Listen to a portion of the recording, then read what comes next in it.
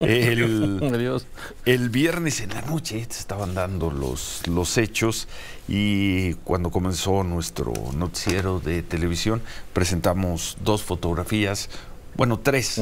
Una, la de todos los senadores con el presidente López Obrador, luego la del presidente López Obrador con Adán Augusto López, Ricardo Monreal, Claudia Sheinbaum, Marcelo Ebrard, y una tercera, la de la resistencia. Xochitl Gálvez logró llegar nos dijo que en su bicicleta logró llegar ahí a la vieja sede del Senado, a Jicotencatl, se metió, se metió al salón de sesiones, tomó pues, la mesa de la Junta de Coordinación y ahí se encadenó, nos grabó un mensaje. Finalmente llegaron poco tiempo después los senadores de Morena pero decidieron no sesionar en el salón de plenos, sino afuera, en, un, en el patio. Ahí tenían todo listo, se instalaron y, e hicieron lo que ahora ya sabemos. Sacaron adelante 20 reformas. Fue, queda tu imagen también, Xochitl, esa imagen tuya sola en un salón de sesiones encadenada, porque llevas unas cadenas que encadenaste ahí para que no te quitaran, pero fuiste la única que llegó, Xochitl. Tenemos entendido que también llegó, ya no sabemos si entró Damián Cepeda, senador del PAN, pero queda tu fotografía sola y encadenada. Xochitl Galvez, senadora del PAN, gusto en saludarte. Buen día, Xochitl. Ciro, buenos días, qué gusto saludarte. Manuel, buenos días. Señora, buen día. Pues mira, Ciro, el tema es que yo salí a las 7:45 del Senado cuando se suponía que se iban a reunir en el piso 14 y pues estábamos cuidando el piso 14 y de repente trascendió que no, que sería en Chico. Y pues yo tomé las cadenas que son como 30 kilos, me las eché en la maleta, en mi maleta como soy ciclista, eh, realmente pesadas, le pedaleé hacia el Senado.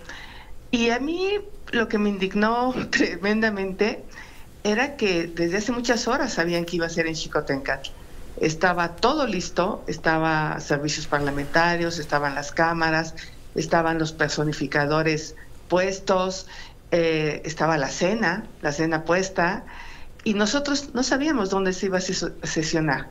Pude pasar a través de mi bicicleta, había un concierto, ya empezaba a estar extremadamente saturada la vía, y por eso llegué.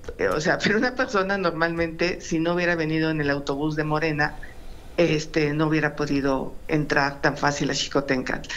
Eh, cuando entro, eh, pues me doy cuenta que ya no puedo cerrar el Senado, porque era mi intención originalmente, eh, porque ya había mucha gente adentro y dije, no, pues no, me van a acusar de secuestro, tampoco es la idea, los trabajadores qué culpa tienen.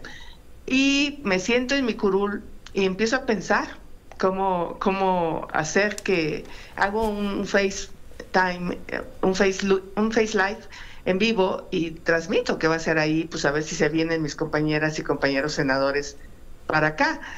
Eh, de repente, eh, pues me dicen que no, que la decisión fue quedarse en Chicotencat. Y mi decisión en ese momento, que además soy una mujer que está acostumbrada a pelear hasta el último minuto, lo que tenga que pelear por un principio y una convicción, o sea, yo, yo sí creo que eh, no tener un comisionado del INAI le imposibilita a los mexicanos tener acceso a la información. O sea, lo que está de fondo es que este gobierno quiere tapar la corrupción, que no nos enteremos de los contratos eh, de Baker Hughes con Pemex, que, sabemos que fueron de 20 millones de dólares cuando el hijo del presidente vivió en esa casa. Lo de Sagalmex, que yo tuve acceso a varios contratos y nos enteramos que eran empresas fantasmas. Eso es lo de fondo, realmente, lo de fondo en el tema que yo traía en un principio pues eh, me siento, me encadeno, empiezan a llegar los senadores de Morena y senadoras, me empiezan a ver con una cara de quítate de ahí. Y, yo estaba decidida que me sacaran con silla en mano. Afortunadamente y desafortunadamente para ellos se van al patio, Ciro. Y eso realmente es penoso, vergonzoso. Y yo permanezco ahí pues hasta las 4 de la mañana, que ya se retiran. Bueno, y se acabó salieron las reformas, que de alguna u otra manera iban a salir, Xochitl. Iban a salir. Se hubieran trasladado a otro lugar. Pero un poco gracias a eso también exhibimos que no estaban completos, porque al principio no estaban todos los senadores, fueron llegando. O sea, yo vi ahí cómo improvisaron el dictamen de CONACIT, porque entraban y salían corriendo. De ahí se escuchaba perfectamente lo que estaba. Lo que sí te puedo decir es que estaban extasiados, estaban eufóricos, estaban felices. Era una cosa o sea, el ver al presidente los eh, reanimó a... Yo pensaba que iban a buscar otra sede, que iban a, tratar de, de, pues no sé, de esperar a que se ordenara todo, que hubiera micrófonos. No, ellos calculaban que lo iban a hacer en dos horas.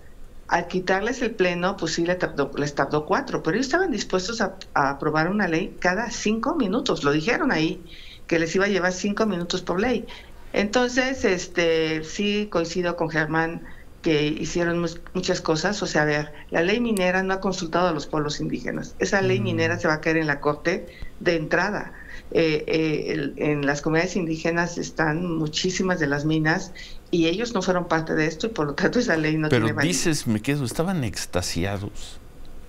Estaban extasiados, estaban felices, estaban eufóricos, aplaudían se les veía sus rostros eh, de una manera, o sea, de verdad, yo, yo, yo los miré porque entraron al salón y posteriormente varios de ellos se tuvieron que ir y se escuchaba desde el patio la euforia con la que votaban, hace tiempo que no la escuchaba, porque habían visto a su Mesías, o sea, porque ellos no les importa analizar si es una ley positiva, no les importa profundizar si el INAI sirve o no para México, ellos lo único que saben hacer con todo respeto para muchos de ellos, es acatar instrucciones. Hubo algunos valientes que votaron en contra financiera rural, que votaron en contra eh, la ley minera, pero en general... Pues este, valientes entre comillas, sabiendo que, iban, y que iban a perder, ¿no? Digo, pues sí, digo, dentro de lo que cabe, sabiendo que iban a perder. Y, y el otro tema, Ciro, es sí, sí hay que impugnar y sí hay que dar la pelea mm. y como oposición necesitamos repensar que lo que viene es mucho más autoritario y por lo tanto tenemos que ser mucho más duros nosotros. Bueno, y tres días después, ¿te gusta la imagen de Xochitl Galvez sentada en un salón de sesiones vacío, encadenada? encadenada? ¿Cómo te sientes con esa imagen tres días después? La volvería a hacer porque finalmente los obligué a irse al patio a hacerlo de una manera indigna. Creo que al final yo sí creo, o sea, personalmente creo que si hubiéramos ido más, no hay esa sesión. Y, los, y no importa, los hubiéramos correteado 10 días. o sea, esa soy yo.